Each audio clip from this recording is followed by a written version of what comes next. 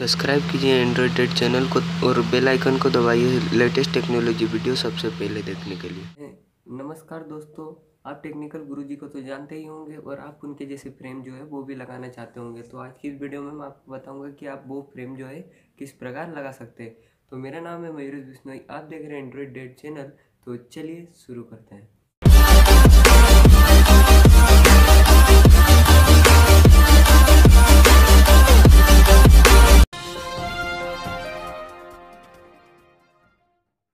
दोस्तों, इसी फ्रेम लगाने के लिए आपको ये करना होगा कि मैंने जो डिस्क्रिप्शन में एक लिंक दी है, उससे आपको एक फ्रेम जो है, वो आपको डाउनलोड करना है। तो उस फ्रेम को डाउनलोड करने के बाद में आपको एक ग्रीन स्क्रीन दिख रही होगी तो उस ग्रीन स्क्रीन में आपको काइन मास्टर का इफ़ेक्ट चलाना है।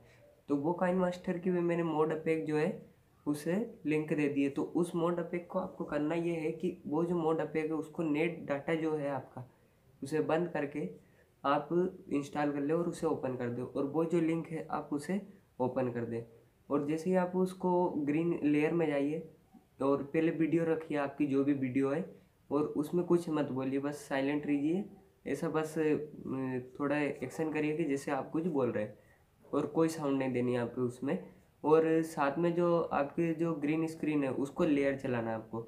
लेयर में जाके वो जो ग्रीन स्क्रीन वाली वीडियो है, मैंने जो दी है उसे आपको वहाँ पुट करना।